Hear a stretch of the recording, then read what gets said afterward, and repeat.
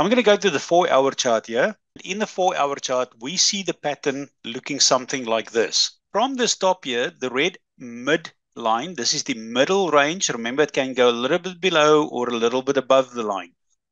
And I'm saying it again just for the new people. This red line here is the average. You know, we can go above it, let's say there, or we can go below it.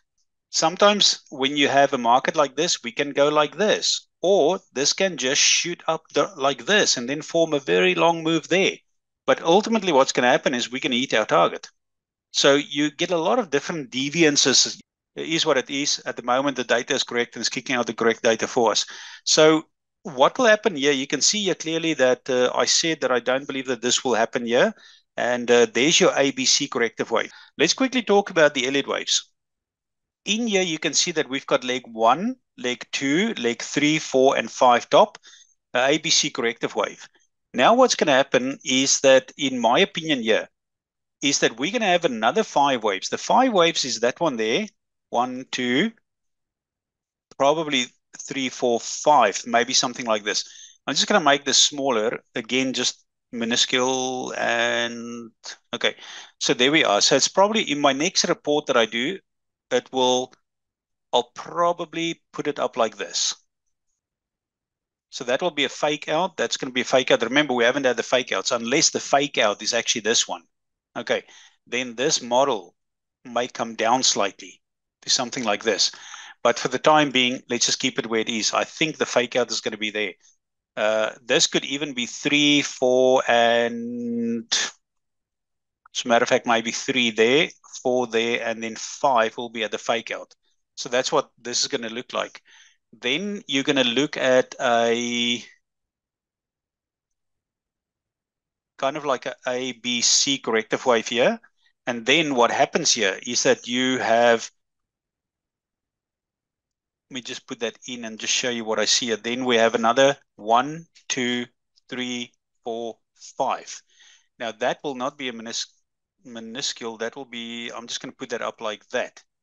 Okay, so effectively what you look at is that you're going to have a very large ABC. Let me just make it, uh, this is what you're going to have probably something like this. Okay. And ultimately, this will just be the completion of an ABC leg to the upside or a Elliott wave five leg.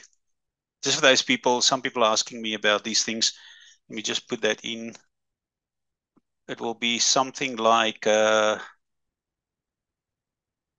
let's just make it a primary for now. So this will be your leg zero leg one is there because the five waves are complete. Leg two there. Leg three is actually going to be there. Leg four and then leg five. Okay. So you can see uh, it can either be an ABC or it can be this one here. I think we're going to go for this. That's actually how it's going to be.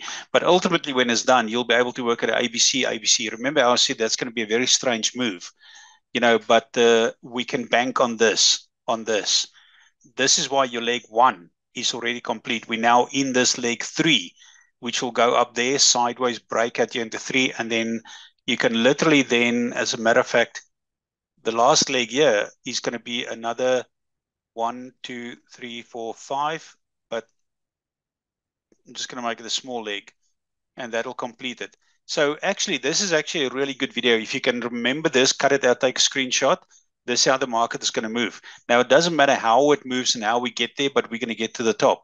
Now, interesting, actually, guys, I just want to show you something really. If you go here to bitcointaf.com, if you go here to products, this is the four recommended products. If you go to see more, now remember here, you can go and search for chart patterns. You can go and filter and so on, but I'm just going to scroll through quickly just to show you. See here, ultimate patterns. If you go and view that, that's about $60. You can download all the reports. Those are the reports that I'm going to show you right now. Okay, now let's just get back to where we were. That's where we were. Now I'm going to bring this report up. One of the most important reports is this one here, the Elliott wave theory. This consists of about 50 pages, but when you go down, okay, first of all, remember last week we spoke about this.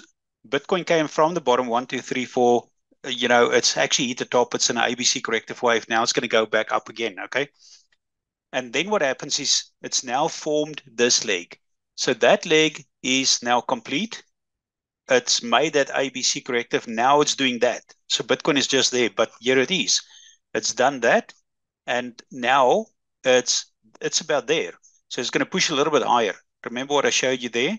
And then we're going to go up to to finalize the point, which will actually be the 0.5 or the high point in Bitcoin. Just go back and watch the video again if you are confused there. And then we're going to have a, after three and four, basically, there we have a corrective wave again. Okay.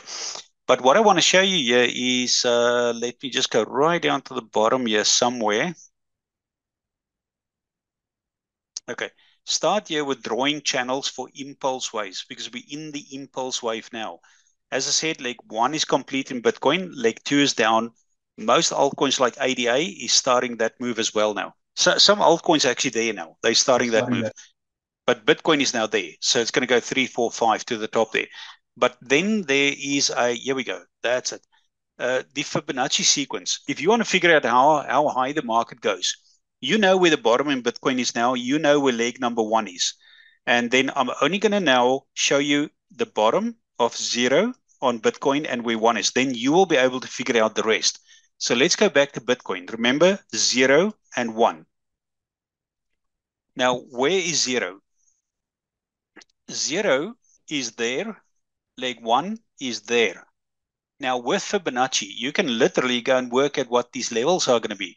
You, you're not going to be 100% correct, but you're going to be very, very close, very close.